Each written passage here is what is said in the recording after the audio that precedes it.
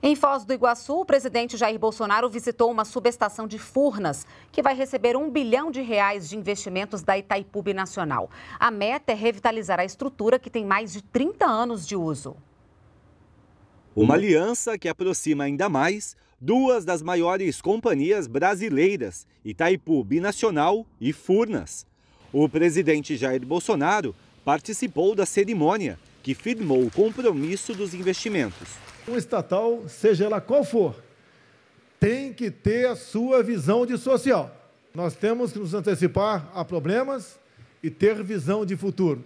A subestação em Foz do Iguaçu opera desde 1984 e os equipamentos estão atingindo o fim da vida útil. Por isso, a revitalização é necessária. Num prazo de cinco anos, Itaipu vai investir um bilhão de reais em Furnas.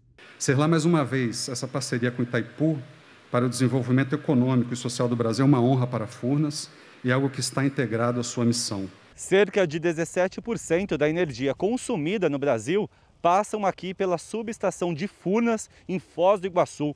Os investimentos são essenciais para garantir segurança energética. A energia é produzida em Itaipu.